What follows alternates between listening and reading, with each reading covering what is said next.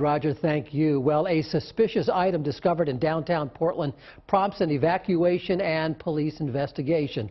WMTW News 8's Courtney Sturgeon joins us now live in Portland with the story. And Courtney, what exactly happened? Well, Steve, a bomb squad detonated that suspicious item earlier right here in front of the police station. Luckily, no one was injured throughout this entire tense situation this evening. It took a few hours, though, to investigate and clear this area. Portland Police Department's Hazardous Devices Unit strategically maneuvered a robot around what police are calling a suspicious item.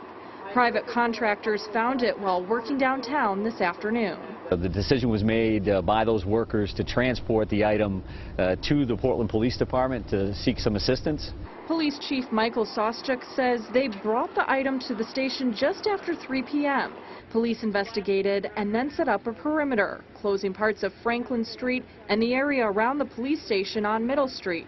Nearby buildings were also evacuated. Well, based on the, the size of the item and the experience uh, and training of our hazardous devices unit, they made an assessment of what they had, uh, what they saw, uh, and uh, the strength they believed it to be. Police won't say what exactly was found, but the hazardous devices unit is continuing to investigate.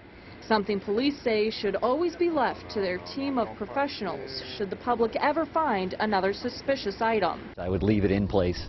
Uh, contact us, call 911, and uh, we'll respond. We'll do an assessment on scene uh, and deal with the situation there. Roads in this part of downtown are back open tonight. Police say that anyone in that immediate immediate area, rather, they weren't in any danger tonight. The investigation is ongoing. Live in Portland, I'm Courtney Sturgeon, WMTW News 8.